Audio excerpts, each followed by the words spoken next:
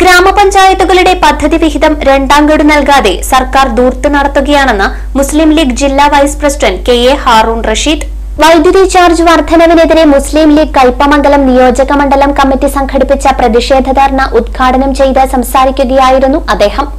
പാവങ്ങളെ കൊള്ളയടിക്കുന്ന നിലപാടാണ് പിണറായി സർക്കാർ സ്വീകരിക്കുന്നതെന്നും ഹാറൂൺ റഷീദ് പറഞ്ഞു. അതിന്റെ അടിസ്ഥാനത്തിലാണ് വിഴിഞ്ഞം തുറമുഖം ഉണ്ടായത് എങ്കിൽ അതിന്റെ പണി തീർത്ത് അതിന്റെ ഉദ്ഘാടന കർമ്മം നിർവഹിച്ചത് എങ്കിൽ ഇന്ന് കേരളത്തിലെ വൈദ്യുതി മേഖലയെയും അംബാനിക്കും അദാനിക്കും അടിയറവ് വെക്കുന്ന വിധത്തിലേക്ക് കേരളത്തിലെ കമ്മ്യൂണിസ്റ്റ് ഗവൺമെന്റ് മുന്നോട്ട് പോകുന്നു എന്നുള്ള യാഥാർത്ഥ്യം നമ്മൾ മനസ്സിലാക്കേണ്ടതുണ്ട്.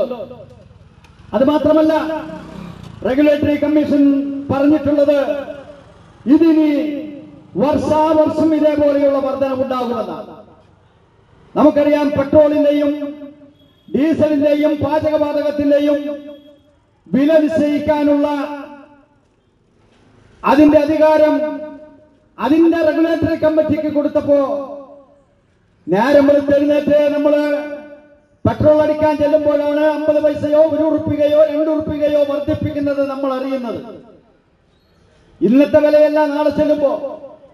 നാളത്തെ വിലയല്ല നമ്മൾ പിന്നെ ചെല്ലുമ്പോ.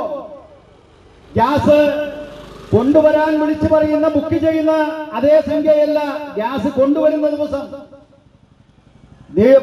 നിരവധി സംഖ്യ വർദ്ധിപ്പിക്കുന്ന വിധത്തിൽ ഗ്യാസിന്റെയും പെട്രോളിയം ഉൽപ്പന്നങ്ങളുടെയും വില വർദ്ധിപ്പിക്കുന്ന വിധത്തിലാണ് ഇനി കറണ്ട് ചാർജും കേരളത്തിലെ ഗവൺമെന്റ് ഈ നടപ്പിലാക്കാൻ വേണ്ടി കെ എസ് ഇ ബി ഓഫീസിന് മുൻപിൽ നടന്ന ധർണയിൽ നിയോജക മണ്ഡലം പ്രസിഡന്റ് എസ് ഐ സിദ്ദിഖ് അധ്യക്ഷത വഹിച്ചു.